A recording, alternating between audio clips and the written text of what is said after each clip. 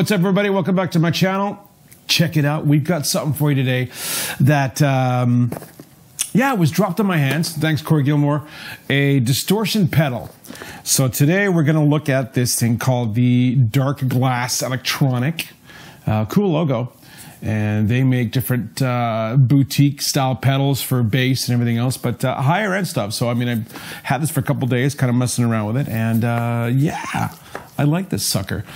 So it's already, bam, there it is.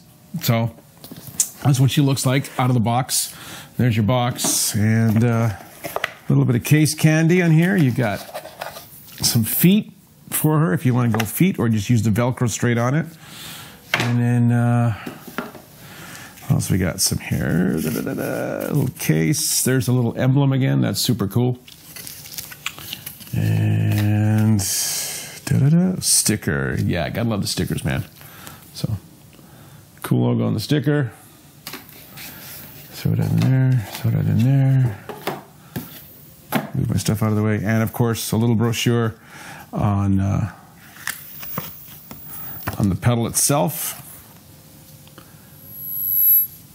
So, and a little brochure on different pedals that these guys make. So, do check them out. Uh, yeah. So let's check out this Omicron bass pedal. Uh, right now I've got it on. Let's take it off. I'm just running through my DAW system and uh, my Line 6. Uh, simple, straightforward bass, nothing added in there for any effect. Just I want to get a clear balance of what this pedal can do so you guys can understand it as well. And uh, yeah, have some fun with it. So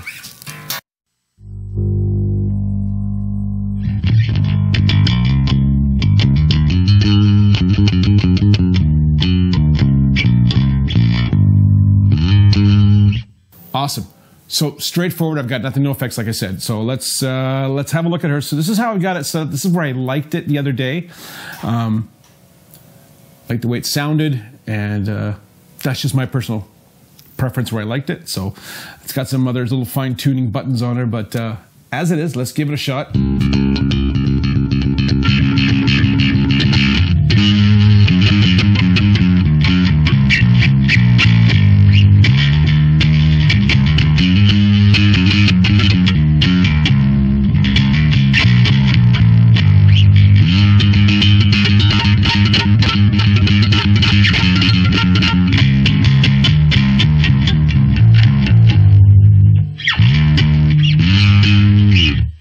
So I've got the level and how like 12 o'clock. I've got the drive, and then I've got the other two, which is the the blend, and of course the focal point of how everything works. So.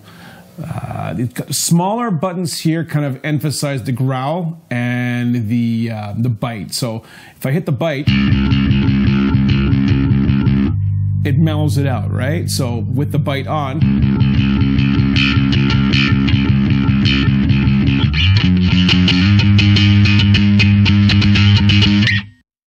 let's try some of the blending with the distortion. So I'm going to go through here and.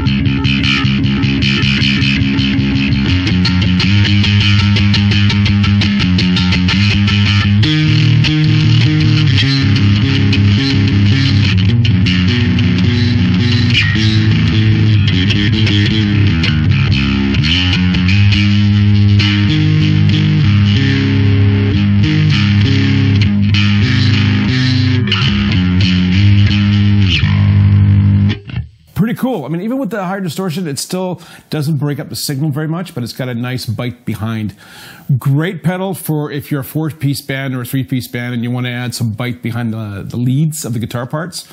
Uh, this would be a great tool for that if you're looking to have that, or for intros or whatever have you to add that extra emphasis on your bass playing and you know your sound that you're looking for live. But for behind the leads on a band, this would be great. I mean.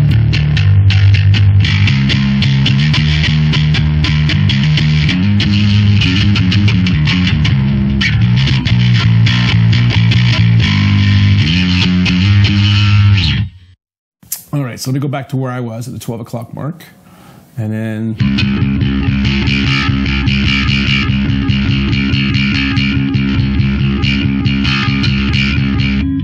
A subtle notice on the growl from distortion. It's a little bit more, and a little bit less. Sounds like a little bit of a boost.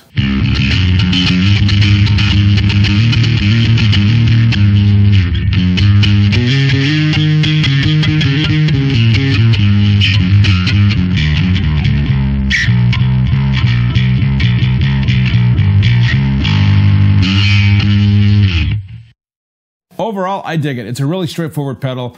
Um, not going to put you in the bank very much. This one's used at Long & McQuaid and Abbotsford for, for 225 I think they go for like 300 350 uh, new. So not a bad price point for a pedal. But if it gives you what you're looking for, then essentially it's doing the job, right? So value of what your needed goods are to play.